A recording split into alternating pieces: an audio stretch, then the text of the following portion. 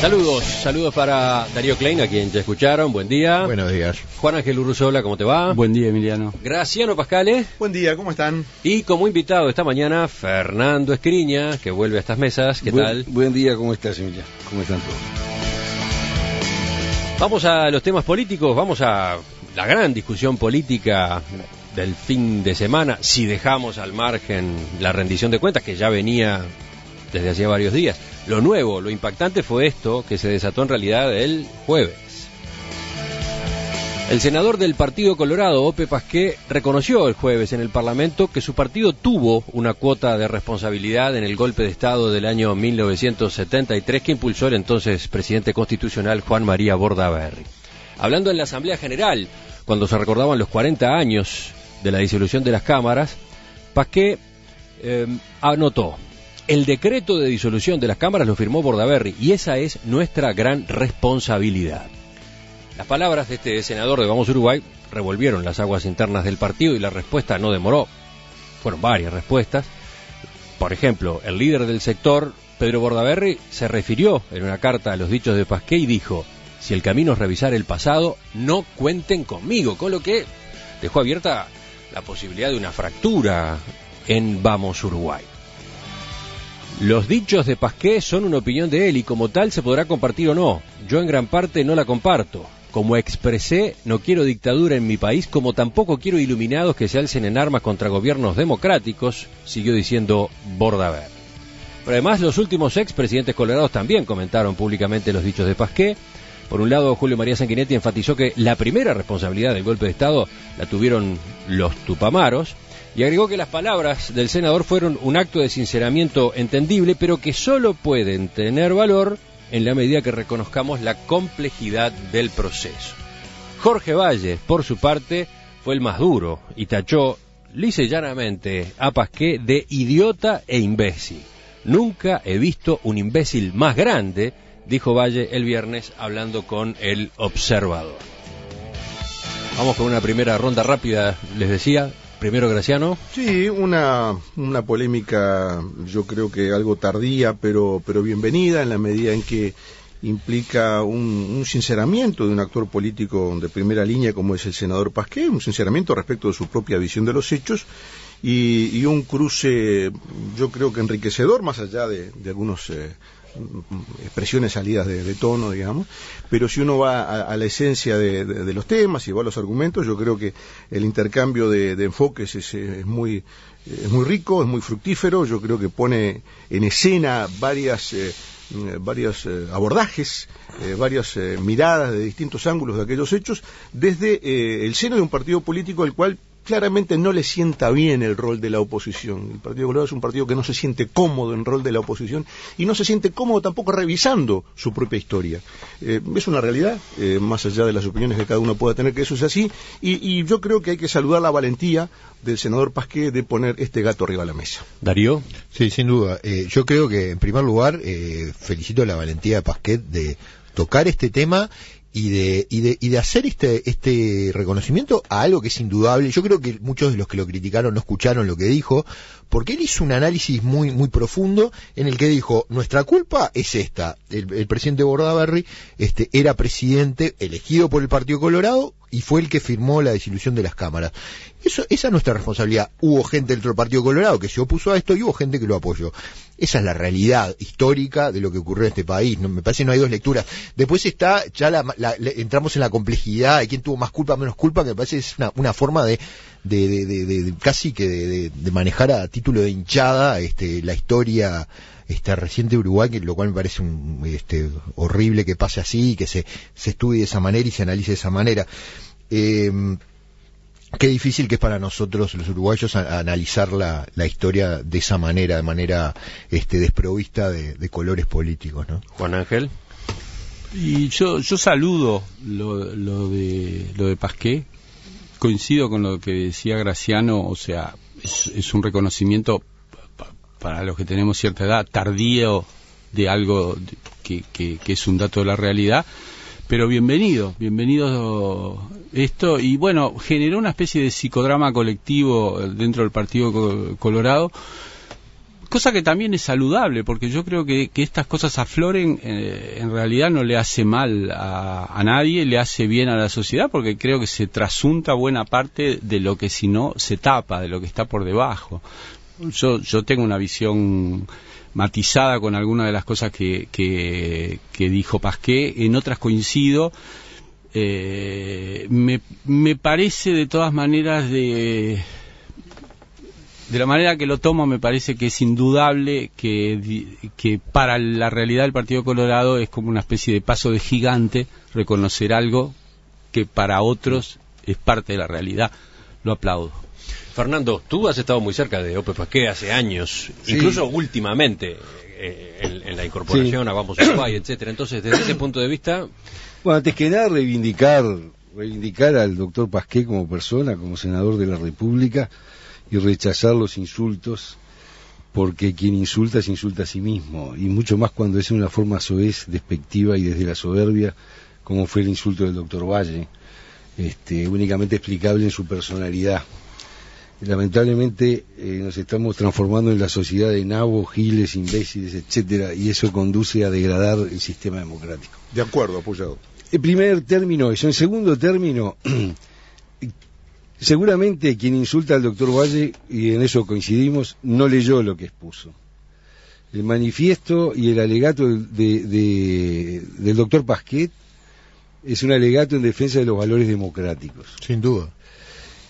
Y en ese camino, el doctor Pasquet y muchos que lo han acompañado, entre los que me incluyo, desde la primera hora, desde que fundamos la corriente ballista independiente para combatir por el, por el no en el 80, en las internas del 82 con, con Libertad y Cambio, en la propia fundación de Vallismo Abierto, la actual agrupación de Pasquet, que en el año 2000 sacó aquel documento eh, aportes para un debate largamente postergado, y la propia incorporación a Vamos Uruguay, que propuso la renovación del partido.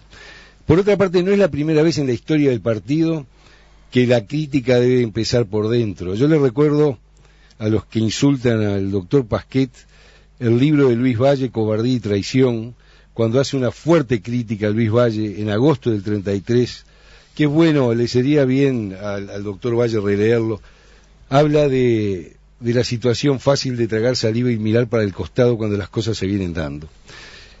En cuanto, y, quiero concluir en esto que me parece que es el puntapié inicial que da Pasquet y que llama asombro en un país, perdón, donde nadie reconoce nada. Y yo creo que lo que le reprochan a Pasquet es que el Partido Colorado corre un riesgo de perjudicarse si reconoce algo. Y yo como confío en la gente honesta todavía, yo espero que en la izquierda, que ha tapado la verdad de la violencia del año 60, que ha tapado la verdad que se alzó en armas contra un débil colegiado del Partido Nacional, para voltear la democracia y establecer una dictadura a la, cubana, y que conmemora el 27 de junio, pero no se anima a hacerlo el 9 de febrero, donde andaban buscando qué vota de izquierda lamer para buscar un golpe a la peruana. Yo confío que gente honesta de otras tiendas va a tener la valentía del doctor Pasquet de decir qué responsabilidad le cupo en esa última década que llevó al país a la larga noche y, y, oscura noche de la dictadura. Bueno, seguimos ahora ya en un debate un poco más libre, ya expuso cada uno de ustedes, sigan adelante. Sí, no, yo, eh, muy interesante lo que dijo Escriña, eh, yo creo que, que, es una exhortación que no debería caer en saco roto. Eh, a mí me gustaría detenerme en un aspecto porque me tocó, las circunstancias de la vida hicieron que, que, bueno, estuviera cerca de algunos hechos. Me gustaría detenerme en un aspecto que, que toca el doctor Valle, porque ya sobre Pasqué se, se ha dicho mucho y yo, yo coincido todo lo que se ha dicho. Hay un episodio que yo creo que es lo que provoca la molestia profunda del doctor Valle. Molestia que yo creo que la molestia es comprensible, lo que me parece que no es comprensible es la manera en que esa molestia eh, llega a la luz pública. Yo creo que si, si hubiera contado hasta 10 el doctor Valle, prefiero pensar que no hubiera dicho lo que dijo, ¿eh? pero hay una molestia que, yo creo que está vinculada a un hecho histórico que, quizás en el desarrollo que hizo el doctor Pasqué no, no tuvo el destaque que merecía y es la prisión que sufrió el doctor Valle en octubre del 72 por denunciar el golpe que se venía. Bueno, Valle recuerda ese episodio Por en eso, estas declaraciones por- por del eso- viernes que terminan por eso le- duras y, y tan fuera de tono A- a- de la a- crítica a Pasqué, pero él lo menciona. A eso me refiero, lo menciona, lo menciona Valle, no lo menciona Pasquet. Y a eso me refiero porque, como decía, las circunstancias de la vida quisieron que yo en, en aquel momento estuviera cerca, por, en fin, de, de carambola, de rebote. Yo en el año 72 integraba la redacción del diario Acción, el vespertino que dirigían el doctor Valle y Julio Merá Sanguinetti, y del cual Luis Antonio Hierro era redactor responsable, con entonces apenas 25 años. Eh, yo integraba la redacción como un cronista más allí, junto a Daniel Rodríguez Otey, a Mario César Sanó, que era subsecretario de redacción, gran periodista y gran amigo, Daniel Braque, Jaime Galante, en fin, una serie de, de periodistas con los cuales yo ya eh, estaba empezando la carrera. Y en esos días de octubre del 72, donde la lista 15 era un puntal del gobierno, porque recordemos que eh, el, el- el- el señor Bordaberry es electo por el pachequismo, eh, en aquel momento, doble voto simultáneo, varios candidatos acumulaban sus votos, el doctor Valle, candidato de lista 15, Unidad de Reforma, eh, bueno, eh, Bordaberry gana esa, esa elección y obviamente el Partido Colorado como tal se encolumna detrás de Bordaberry y hay un, reparto de, de- de responsabilidades en el gabinete. Julio María Sanguinetti es ministro de Educación y Cultura y la Secretaría de la Presidencia la tiene el doctor Luis Barrios Tazano, otra gran figura muy destacada de la lista 15, luego fue canciller con el presidente Sanguinetti. Y en esos días se suceden una serie de reuniones a raíz de, la denuncia que hace el doctor Valle eh, y, y la prisión, en la cual recuerdo, porque, en fin, yo no participaba, obviamente, estaba simplemente, eh, veía el trasiego de gente que entraba y salía. De mañana había un cierto consenso en una posición y de tarde había otro, porque era una cosa muy delicada. Imaginen ustedes, por ejemplo, al día de hoy, suponiendo que hoy fuera la situación, imaginen ustedes que los dos sectores más importantes del gobierno, MPP y el grupo de Astori, un día uno de los grupos dijera, "Ta, no estamos más en el gobierno, se terminó y nos fuimos. Bueno, eso fue lo que ocurrió en octubre del 72. Fue un, un- un terremoto político. La consecuencia de la prisión del doctor Valle hecha adrede, es decir, hecha para provocar un- una crisis política. Entonces, esos son episodios, digamos, hoy quizás a la luz de lo que pasó después son episodios pequeños, pero yo creo que ilustran la complejidad del proceso.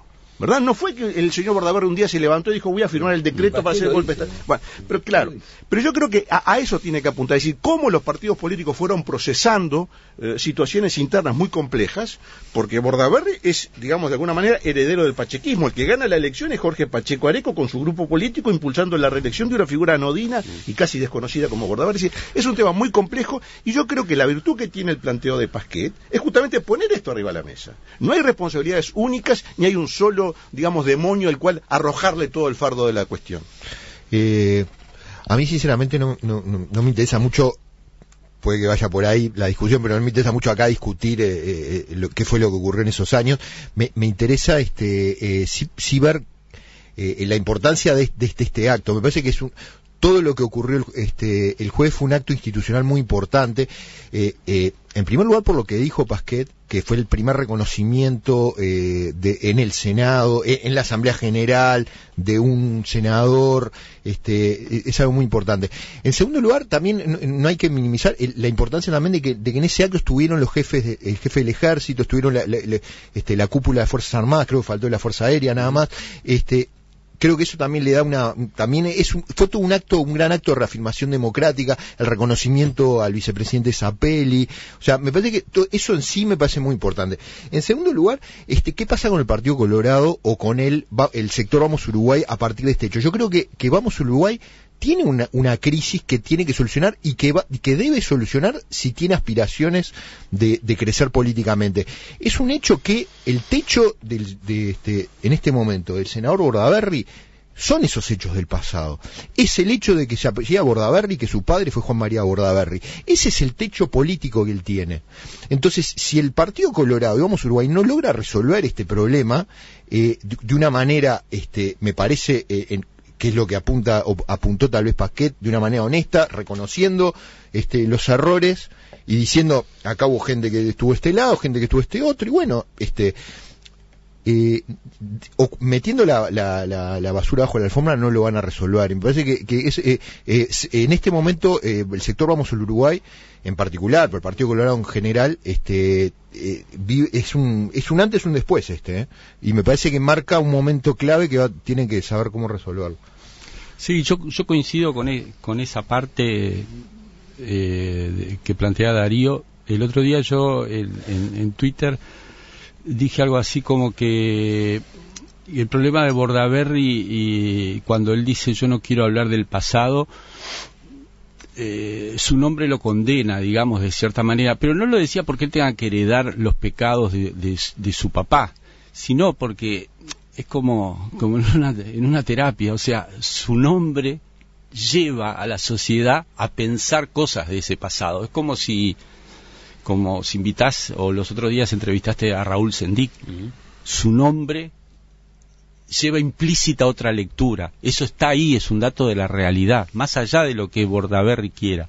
Y Bordaberry ha hecho todo un trabajo como para borrar, ¿no? Bordaberry quiso ser Pedro, pero No histórico, históricamente falsedad, ¿no? bueno, quiso ser Pedro en el sentido, insistió con Pedro, Pedro, Pedro. Pedro es Pedro Bordaberry y creo que lo que dijo el otro día demuestra que él quiere ser solamente Pedro.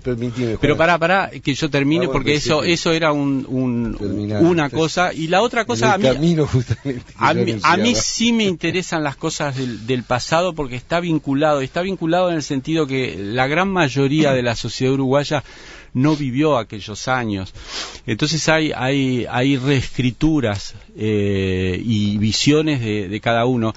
Y a, a raíz de todo esto que se plantea, el, no me acuerdo si fue el viernes, mi hijo, claro, tiene eh, 16, cumple 17 ahora, y me pregunta, eh, papá, ¿cuál es el rol de todo esto en Pacheco Areco? Entonces yo le digo, ¿cómo le explico Pacheco Areco? Entonces yo le dije simplemente, ¿viste todo el lío? Porque él me estuvo preguntando todas las huelgas de estos días y demás. Bueno, en la época de Pacheco todas esas huelgas serían ilegales. A los maestros los llevarían detenidos a los cuarteles y los llevarían en camiones a trabajar. Y la manifestación que cortó 18 de julio la hubieran reprimido a balazos y capaz que hubiera habido un par de muertos. Esa fue sectores ultra eso- fue, los sectores eh, ultras este, históricamente en el 68, por ejemplo, eran 30 personas. ¿Entendés? Entonces, en ese momento, en el 68, eso fue lo que significó para mi generación eh, la- el, el- el- el oscurantismo o la, o la, o la visión eh, represiva de un partido colorado en el gobierno que no tuvo la capacidad de darse cuenta que eran movimientos sociales y que yo creo que ese fue el gran caldo de cultivo de la violencia. Fernando. Muy claro. No acepto lo que acá se dice porque justamente Estás en tu está derecho. en el- por supuesto, como tú estás en el tuyo, por suerte vivimos en una democracia liberal. Yo creo que el Partido Colorado y, y- y toda su tradición es muy grande, es mucho más grande que el episodio del 73. Y tú decís que tu hijo de 16 años te pregunta eso. Habría que responderle, quizá con la misma reflexión que hacía Gerardo Caetano, que decía Pacheco fue, eh, criticando a Fernández Huidobro, que decía Pacheco fue el gran hacedor del movimiento de, de- de- de que se incorporaran Tupamaros a la organización, y Caetano le dice sí, pero los Tupamaros fueron los hacedores también de que muchos pachequistas, de que creciera el pachequismo.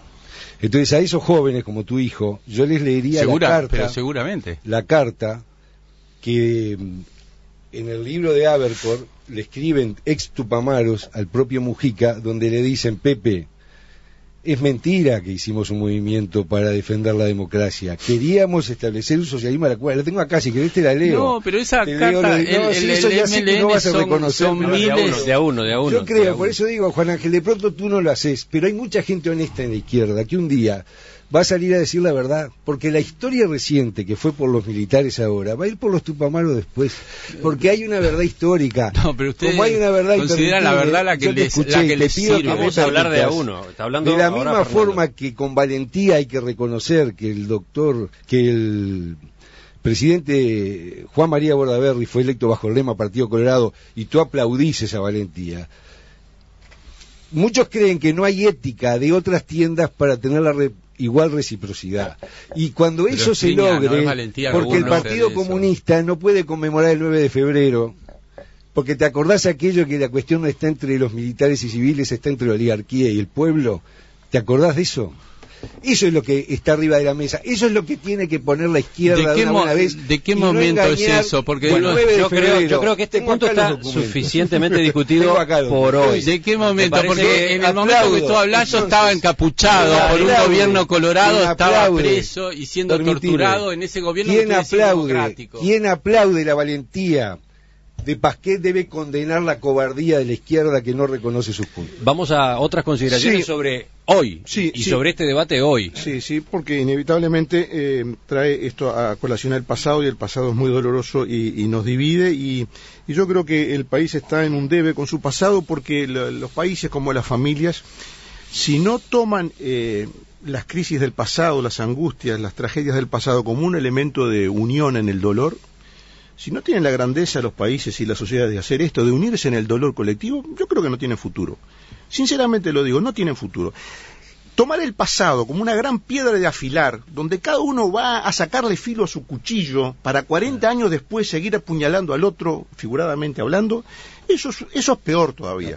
Eso es peor todavía, porque haber vivido lo que el Uruguay vivió, con muerte, con tortura, con desaparición de libertades, con dictadura, y tomar hoy ese pasado como una gran piedra de afilar donde seguimos revolviendo todo ese dolor para que no muera nunca, eso es una cosa imperdonable. Creo que el pasado hay que procesarlo, creo que hizo bien el doctor Pasquet en poner algunas cosas arriba de la mesa, creo que el doctor Valle eh, se extralimitó en algunas consideraciones, aunque yo le reconozco eh, que, en fin, algunos gestos que él tuvo no fueron suficientemente destacados en esa intervención, por eso no lo habilita. Pero el doctor Pasquet lo nombra y lo incluye en la lista de los colorados que estuvieron en contra gol. Bueno. Lo que pasa es que el doctor Valle largó eso con Bueno, los pero- 140 caracteres pero, de Twitter. pero hay una cosa, hay una cosa que, hay una cosa que yo Es sí un quiero- problema, es un problema de lo que está pasando hoy en día en general. Pa- Pasqué cuestionó a, a Juan María Bordaberry y a Jorge Pacheco Areco por haberlo Sí. apoyado en la disolución de las cámaras, pero destacó a otros Sí, nombres, destacó a Amílcar Vasconcellos, Zapelli. Eduardo Pazaguirre, Luis Hierro Gambardella, Héctor Grauer, Nelson Costanzo, Jorge Zapelli, Jorge Valle. Sí, eh, eso, eh, eh, eso es, es correcto. Pero yo sí quiero decir una cosa sobre, eh, lo, como dice Emiliano, invitándonos al hoy y, y retomando una, una, una reflexión que hace Darío y que en cierto modo sigue Juan Ángel también. El que elige y el que impulsa decididamente la carrera política del doctor Pedro Bordaberry es el doctor Jorge Valle, que no es ningún tonto, que no es ningún tonto. Él va a buscar al doctor Pedro Bordaberry, lo pone en el Ministerio de Industria, apoya su postulación a la Intendencia de Montevideo y claramente ese es el gran trampolín mm, que desde el cual el doctor Bordaberry lanza su propia campaña política y llega al liderazgo del Partido Colorado. Sí, Eh, a, a Bordaberry el liderazgo del Partido Colorado de hoy no se lo regaló nadie. Se lo merece. se- se lo construyó él. Entonces, eh, quizás él pueda tener un problema, yo, yo creo que sí que puede tener algún problema, eh, y él tendrá que manejarlo. Ahora, todos los que hoy están, digamos, criticando a Bordaberry por el pasado de su padre, olvidan que el presente de Bordaberry se lo hizo a pesar del pasado de su padre Apoyado. a pesar del pasado de su padre. Darío. Entonces, eh, eh, ahora él tendrá que manejar su liderazgo. Y quienes en su corta vida política, me refiero a algunos personajes de hoy, no han llegado ni llegarán por asomo a, a- a des- escribir en la historia del Uruguay la página muy grande que escribió el doctor Jorge Valle con sus luces y sus sombras, me parece que deberían tener un poco más de respeto por alguien que fue líder de un partido político, fue presidente de la República y pertenece a una familia que en el acierto o en el error ha sido una de las familias que ha construido la democracia Pero, pero a Valle nadie le faltó el respeto, él le faltó el respeto. él O sea, se a Valle faltó realmente respeto nadie le faltó el Se respeto. faltó el respeto a sí Se mismo, faltó el Valle. respeto a sí Ahí mismo. concuerdo completamente con este. Este, sin lugar a dudas. No, yo me No, refiero a esas invitaciones a retirarse, a jubilarse. ese- ese Es que, es que después de lo que dijo, eh, la verdad, es una cadena grave. El agravio trae lo otro y eso es antidemocrático. Sí. Entonces lo que tienen Sí. que hacer los mayores es respetar y respetar a quien tuvo la valentía de sentarse en una banca del Senado de la República, de un senador electo por el pueblo, de un señor senador, a decir verdades que se ocultan en otras tiendas. Yo- y es absolutamente imprescindible, imprescindible, Vamos a- valorar eso en esos términos. 15 Yo- yo- minutos.